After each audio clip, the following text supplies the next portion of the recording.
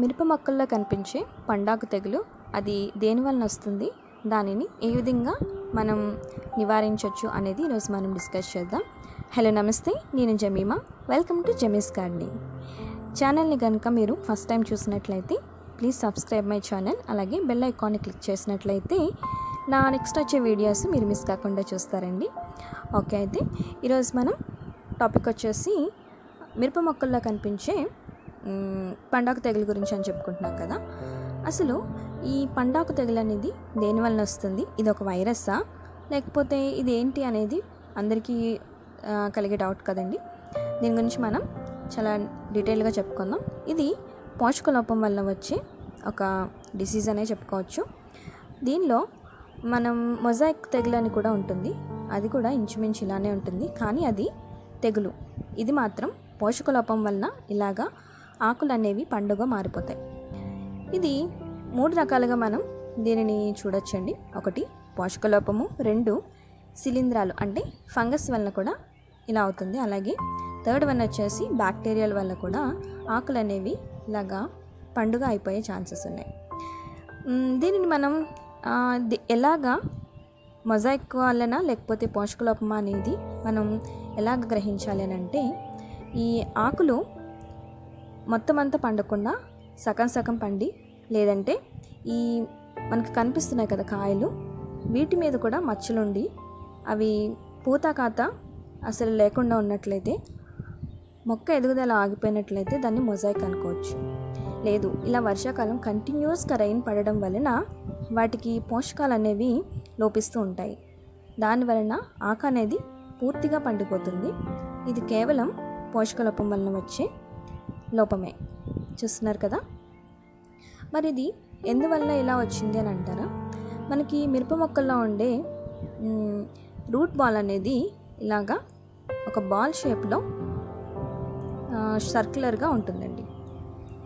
ఈ వర్షాలు ఎప్పుడైతే కంటిన్యూస్గా పడుతూ ఉన్నాయో పైనుండే పోషకాలన్నీ కూడా భూమిలోనికి వెళ్ళిపోయి ఈ మొక్కకి పోషక లోపం అనేది ఏర్పడుతుంది. దానివలన ఇలా చూస్తున్నారు కదా. ఇక్కడ వేర్లన్నీ కూడా పైకి తేలిపోయినట్టున్నాయి కదా. ఈ మట్టంతా ఎప్పుడైతే కిందకి పోషకాలన్నీ కూడా ఈ వర్షాలకి వెళ్ళిపోయాయో దానివలన పోషకాలు ఇవి గ్రహించుకోలేదు. ఇంకొక విషయం ఏమిటంటే ఎప్పుడైతే కంటిన్యూస్గా వర్షం పడుతూ ఉందో దానిలో తేమ శాతం ఎక్కువ అవడం వలన కూడా ఇవి పోషకాలు అనేవి గ్రహించుకునే శక్తి వీటికి ఉండదు.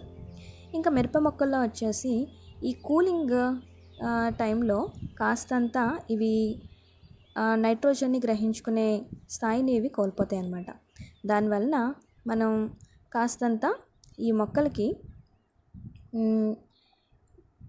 ఏవైతే అవి కోల్పోయినాయో అవి మనం ఇలాగ కాస్త కింద ఉండే మట్టిని దున్నినట్లుగా ఇలాగ కాస్తంత గుల్ల చేసుకోవాలి. ఇలా గుల్ల చేసుకోవడం వల్ల ఏమవుతుంది అని అంటే ఎయిర్ అనేది ఎక్స్చేంజ్ అయ్యి మనం ఇచ్చే పోషకాలన్నీ కూడా ఈజీగా రూట్స్ అనేవి అబ్జర్వ్ చేసుకోవడానికి ఛాన్సెస్ ఉన్నాయి. నేను ఒక హ్యాండ్తో చేస్తున్నాను. మీకు కాస్తంత డిస్టర్బెన్స్గా ఉన్నట్లయితే క్షమించాలి. చూస్తున్నారు కదా? ఓకే. ఇదంతా కూడాను మనం చుట్టూతా మనం ఏమైతే ఇవ్వాలనుకుంటున్నామో ఆ ప్లేస్ అంతా కూడా మనం ఇలాగా గుల్లగా చేసుకోవాలి. ఎప్పుడు కూడా మనం పెస్టిసైడ్స్ కానీ ఇలాగే ఫర్టిలైజర్స్ కానీ ఏమి ఇచ్చినా కూడా కాస్తంత రూట్కి దూరంగా ఇవ్వడమే చాలా మంచిదండి. ఎందువల్ల అంటారా మనకి పర్సంటేజ్ రేషియోస్ అవన్నీ కూడా మనకు కరెక్ట్గా తెలిసినా కానీ ఒక్కొక్కసారి అవి కాన్సన్ట్రేషన్ ఎక్కువైనా కానీ లేదంటే మామూలుగా అయినా కూడా రూట్ అనేది ఎక్కువ షాక్కి గురవకుండా మనం కాస్తంత మొక్కకి దూరంగా ఇచ్చినట్లయితే ఎలాంటి ప్రాబ్లం ఉండదు. ఓకే అయితే మనం చెప్పుకున్నాం ఇది ఫంగల్ ఇన్ఫెక్షన్ వల్ల కూడా అయి ఉండొచ్చు అని. ఇది చూస్తున్నారు కదా సుడోమనస్. ఇది మనకి గవర్నమెంట్ వాళ్ళే మనకి ఇస్తూ ఉంటారండి ఇది.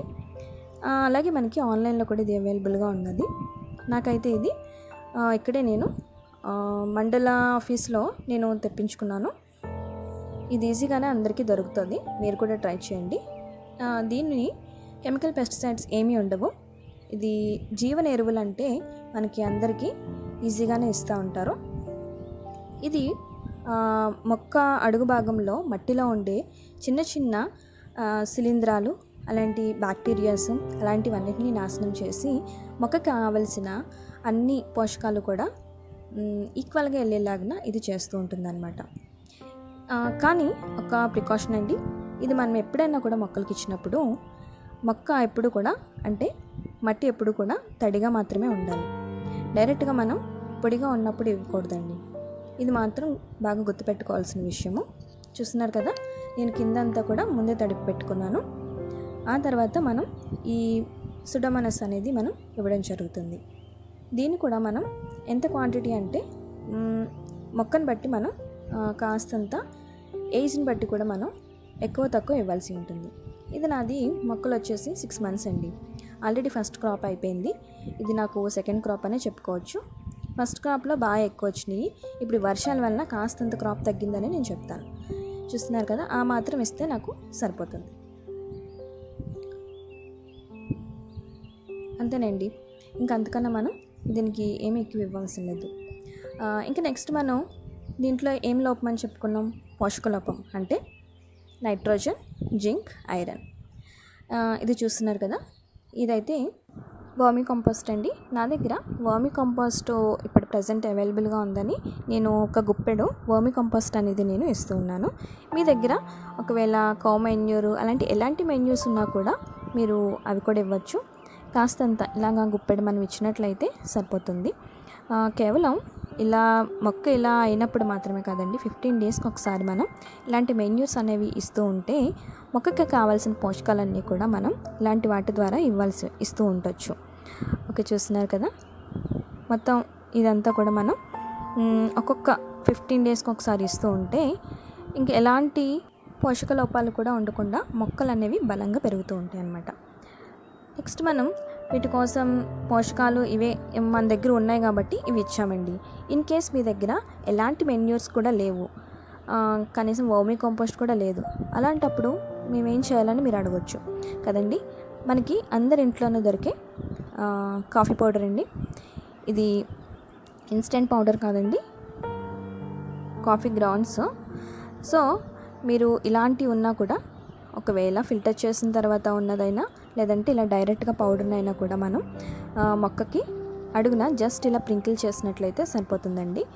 దీనిలో మనకి దీని ద్వారా మనకి మొక్కకి నైట్రోజన్ అనేది ఇస్తూ ఉండొచ్చు. ఇన్ కేస్ మీ దగ్గర ఎలాంటి మెన్యూస్ లేవు అన్నప్పుడు మాత్రమే ఈ కాఫీ అనే కాఫీ పౌడర్ అనేది మనం అప్లై చేసినట్లయితే మనకి దీని ద్వారా కూడా మనకి మొక్కకి నైట్రోజన్ అందించిన వాళ్ళం అవుతాం చూస్తున్నారు కదా? ఇలాగా మనం అందించిన తర్వాత ఆల్రెడీ మనం మొక్కలో మిగిలిన అంటే ఆల్రెడీ కాసిన కాయలు ఉన్నాయి కదండి అవన్నీ అయిన తర్వాత ఒకసారి మొత్తం అంతా కూడా మొక్క అంతా కూడా ప్రూనింగ్ చేసినట్లయితే మళ్ళీ మనకి కొత్త చిగుళ్ళు కొత్త ఆకులు అనేవి వస్తూ ఉంటాయి అన్నమాట. మనం ఇచ్చే పోషకాలతోటే మనకి కాయ అనేది మనకు కావాల్సిన సైజులో మనం కాయించు చూస్తున్నారు కదా? అన్నీ కూడా ఇప్పుడు రెడీ అయిపోయినాయండి. మొత్తం అన్నీ కూడా మనం తీసేసుకొని ఒకసారి మొత్తం చెట్టు అంతా కూడా మనం ప్రూనింగ్ చేసేసుకున్నట్లయితే మళ్ళీ కొత్త చిగుర్లు కొత్త ఆకులు అనేవి మనకి వస్తూ ఉంటాయి. ఓకేనండి? నా వీడియో కనుక మీకు నచ్చినట్లయితే ప్లీజ్ లైక్ చేయండి షేర్ చేయండి అలాగే సబ్స్క్రైబ్ చేయండి. I wish you very happy gardening. Thank you.